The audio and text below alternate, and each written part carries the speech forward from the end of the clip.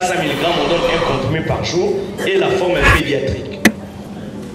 Les infirmiers et infirmières de la ville de Kinshasa ont clôturé les activités dédiées à la Journée internationale des infirmiers. C'était au cours d'un atelier organisé ce lundi 30 mai à l'Institut national de l'enseignement pilote des sciences de santé dans la commune de Kassavubu. Après la célébration le 8 mai de la Journée internationale des infirmiers, les blouses blanches de la ville de Kinshasa avaient poursuivi plusieurs activités, question de valoriser davantage ces métiers nobles et capables de sauver des vies. La prestation des serments des infirmiers et l'inscription des nouvelles unités au sein de l'Ordre national des infirmiers du Congo ont marqué la célébration de cette activité se sont finalement clôturés ce lundi avec les infirmiers responsables des différentes zones de santé pour réfléchir sur les perspectives d'avenir. de l'Ordre des infirmiers du Congo, Mesdames et Messieurs, infirmiers superviseurs des zones de santé de la ville-province de Kinshasa, très chers intervenants, à vos titres et qualités respectifs, distingués invités, estimés consoeurs et confrères infirmiers.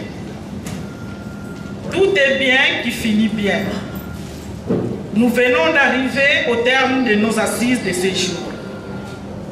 De prime abord, nous rendons hommage à nos éminents orateurs qui n'ont ménagé aucun effort malgré leur agenda surchargé, ont accepté notre invitation afin de venir partager leur savoir avec nous dans cette salle.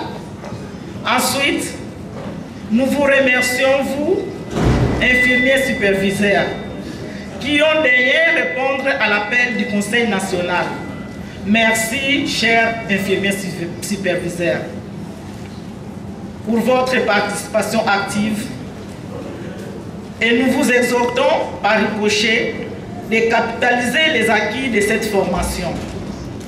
Enfin, nous remercions aussi tous ceux qui, de loin ou de près, ont contribué d'une manière ou d'une autre à la réussite de toutes les activités organisées ce mois de l'infirmier qui s'achève.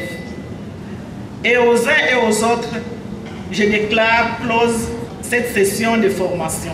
Au cours de cette année, un rapport démontre que les infirmières sont plusieurs fois sujettes des harcèlements sexuels de la part des patients ainsi que de certains responsables, une pratique qui a été dénoncée et condamnée lors de la clôture de ces assises. Vous pouvez vous inscrire en ligne, suivre ça en ligne avec des... On étudie vraiment, dès que vous êtes là, je peux... Ça va demander aussi parfois de dire aux partenaires qui viennent